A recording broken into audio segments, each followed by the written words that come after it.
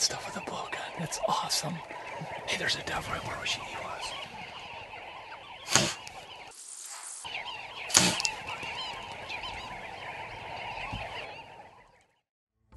The Dark Continent is home to thousands of bird species. Although blowgun hunting is less popular, today we will try to kill the ring-necked dove as well as the banded sand grouse. Two species that thrive by the millions.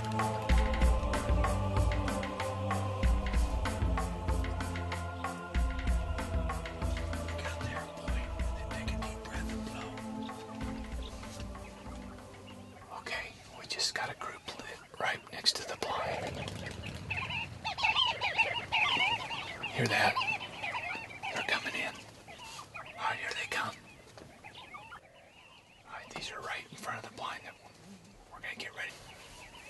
And they came to the water by the hundreds, many of which had flown tens of miles to arrive at the small waterhole that Buck and I are hunting. They keep their distance from the blind, giving us long shots, which can be extremely difficult.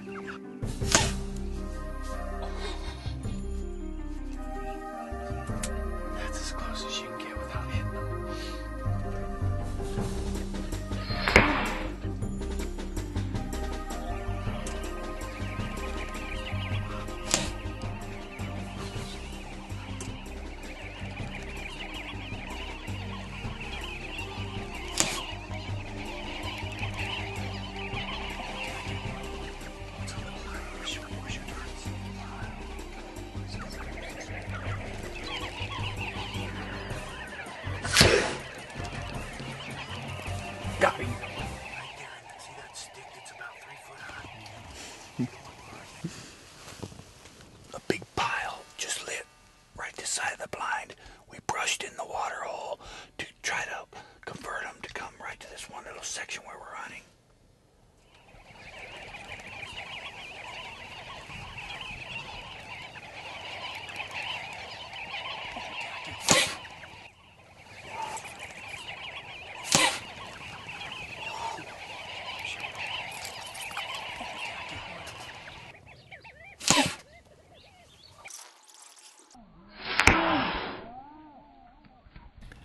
After Buck fired multiple long shots, he decided to pick up his bow for a little revenge and tonight's dinner. All right, that's uh, four birds, two shots. Three birds. Three birds, two shots. Joe.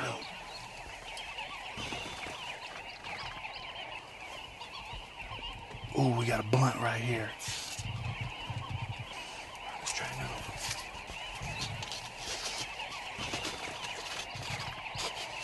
In the water left on the flat.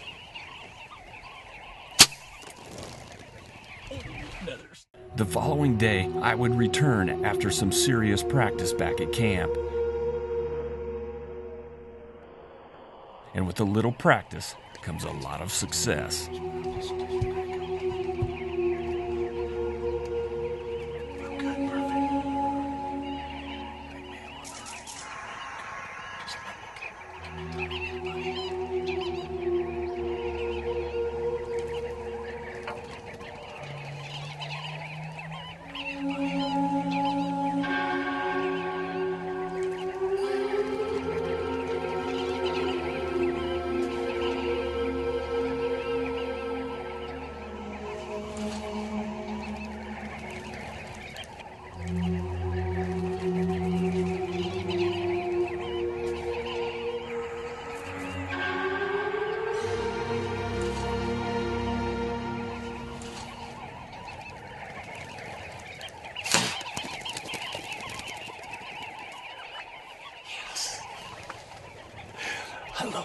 Stuff with a blowgun. It's awesome.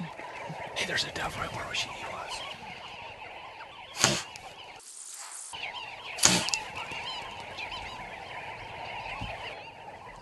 The lethal flight of a cold steel blowgun dart is amazing once you get the hang of it.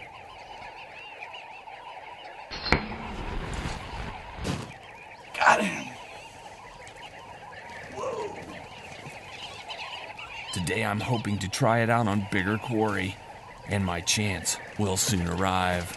Aborigine blowgun death in Africa. Finally, we broke the mojo. Dude, that, that was a far shot, too. Tim and I came over to Africa.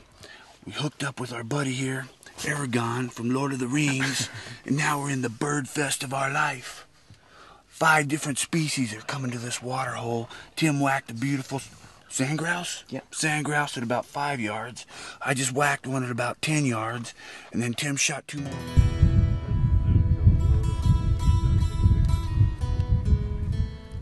I'll tell you what, that shot you made was a long one, bud. It's unbelievable that these big heavy darts with this broadhead can kill something at 15 yards, even as accurate as a small quail, dove, or any type of bird. But I mean, the power just blew right through them. If you see here, this is what they look like. That's a female. Smiley, you can uh, zoom in on this bird a little bit. That's a female sand grouse, and this is a male. And look at the ring on that on the chest. Isn't that pretty? Really good eating bird too. Now normally they'll sit here with a shotgun. Their limit is 25, and they'll take their limit pretty quick. You can shoot a limit each day that you're here when you're hunting uh, plains game, or you can come just for the bird hunting. 25 doves, 25 sand grouse, and uh, it's a heck of a wing shooting place. But today Buck and I went with the blow darts and the bows, and it was a lot of fun. So we hope you've enjoyed this portion of Relentless Pursuit. I know Buck and I had fun making it. And uh, thank goodness Buck didn't get bit by that snake I thought was dead. You like playing with snakes, don't you? Cape cobras, they draw my interest when I'm in the darkest jungles of Africa. He's always played with snakes. Got caught playing with a snake when he was 12 too and got in trouble. It was a great white anaconda.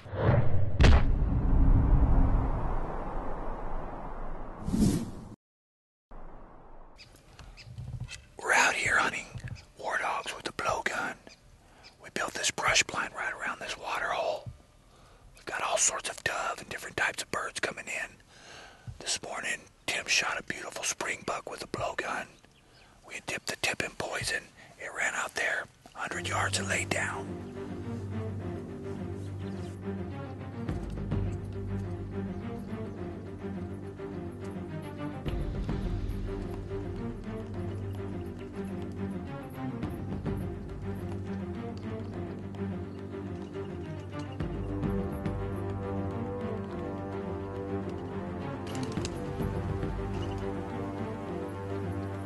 The warthog spooks before Buck can drive a poisoned dart into its flesh.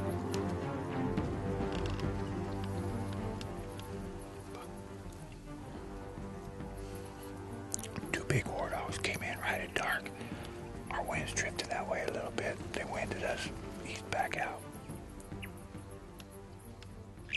And meanwhile, on my way back to camp, I did a little shooting for the trackers. They'd never seen white hunters waste so many arrows on small birds.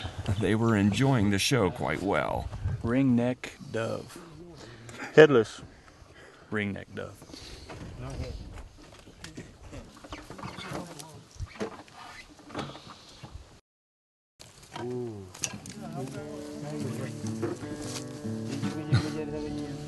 This is for home viewing.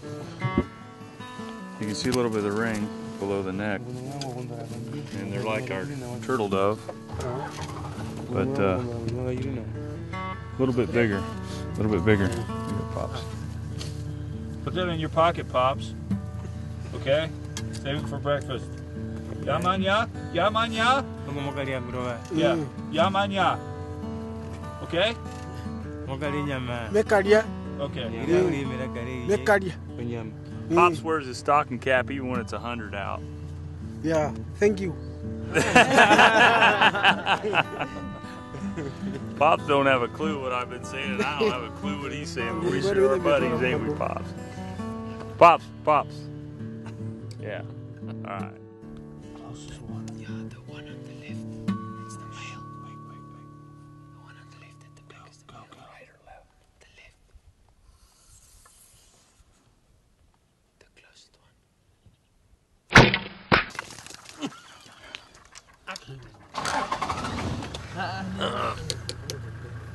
First one. Ever. Trouble is, a three bladed rage is hard on a bird.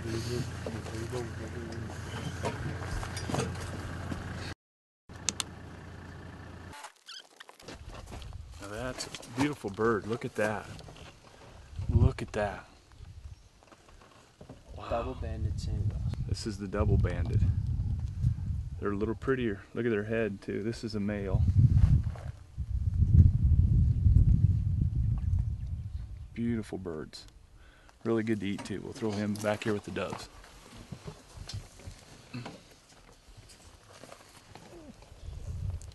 Got them pretty, eh? Don't eat him yet.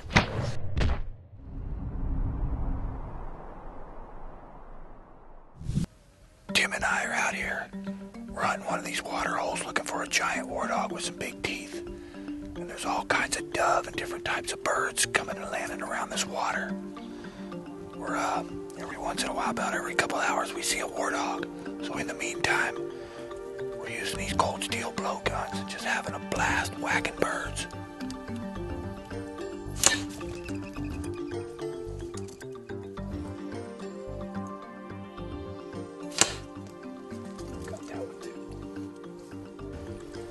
Tracker, you're gonna have to do some serious tracking after this is over with. Look at Smiley. This is my this is my guide back here.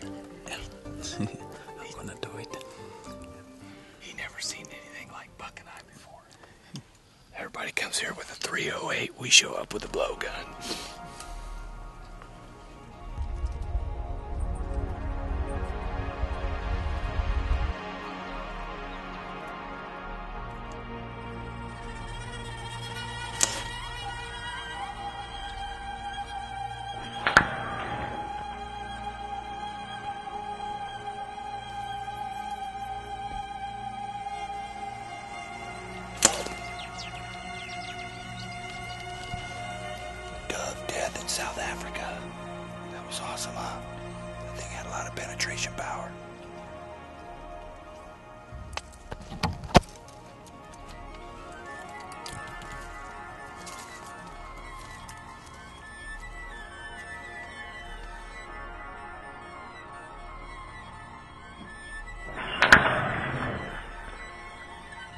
So we got some do- What kind of doves are these? I called them ringnecks, but I'm not sure what they're called. Uh, you can call them ringnecks as well, but the, the real name is uh, Cape Turtle Dove. Cape turtle dove. They're beautiful. Good eating too, huh? Yeah, good eating too. Well, we'll mix that Big in with, breasts. the, with our sand grouse we got. Here we go. Thanks, buddy. We're having fun. All right, that's good. All right. count down and- We've resharpened our darts, then dipped them in deadly poison venom of the mamba and viper snake. After letting the poison dry, we returned and began the hunt. I can hear springbuck behind me. I'm hoping to get a shot at one. I've got my poison darts and I'm waiting for them to come at this water hole where we just finished building our blind. There's a, a big chunk of rock salt that they brought in here for their their wild game. They put it near the water hole, it's right outside my blind. I'm hoping that an impala or the springbuck or maybe a warthog will come close enough to the salt block that I'll get a shot. I also killed a couple doves, and I've got them set up right down here as decoys, hoping I can get a shot at something with them.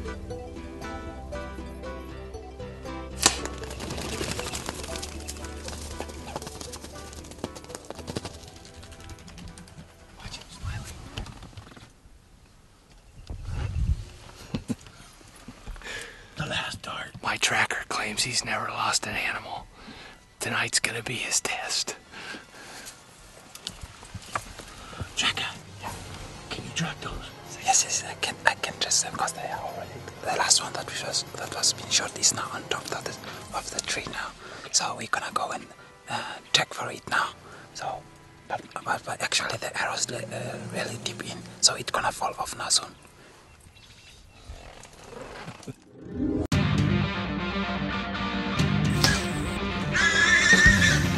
Do you own a blowgun or spear?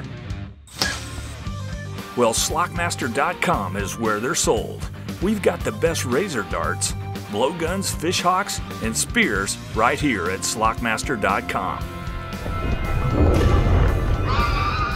They're just too much fun.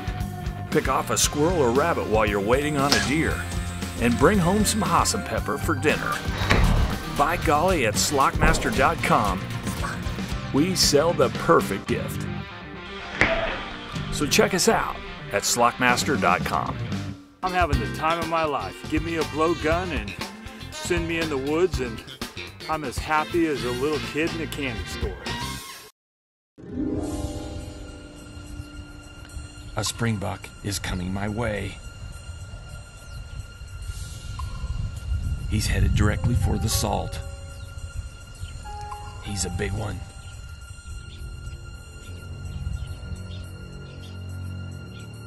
This is my chance. I'll have to make it count.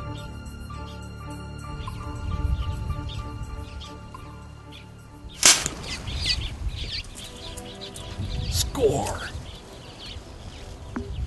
Now we will wait for the poison to take down my quarry. It didn't turn out as easy as I'd hoped, but after several hours of looking and tracking, Smiley found the dead springbuck.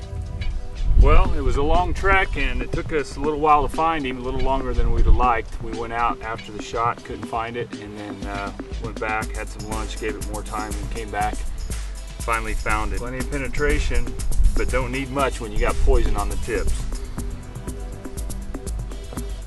All right, we got him gutted and ready to load up, so let's get out of here and get after another one.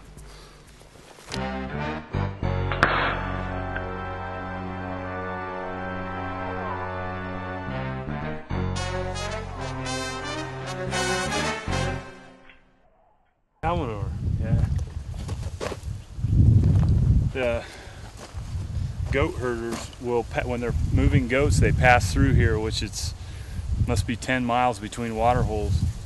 They've made a place to spend the night. You can see they built a fire here. They've smashed cow manure all over the sticks. I think that they tenderize their, their goat meat with it, put it on a rock, and they beat their meat right here. All right, let's go.